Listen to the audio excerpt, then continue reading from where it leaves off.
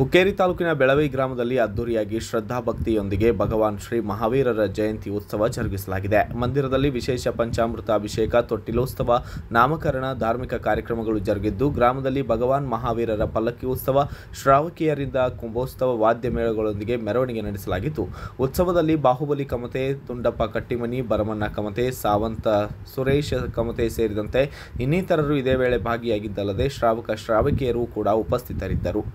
ಇನ್ನು ಇದೇ ಸಂದರ್ಭದಲ್ಲಿ ಅನೇಕರು ಕೂಡ ಭಾಗಿಯಾಗಿದ್ದು ಉತ್ಸವ ಅದ್ದೂರಿಯಾಗಿ ಜರುಗಿದೆ bureau report Shivaji N Baleshgol Bharat Vaibhav news Hukkeri Thanks for watching. Read, discuss, and debate with editor Dr. Yan Prashant Rao. Wanted reporters in print, digital, and visual media for Bharat Vaibhav Daily Newspaper, BV News Channel, and BV Fast Web News from all the talukas of Karnataka. If interested, send your resume to 9482633333.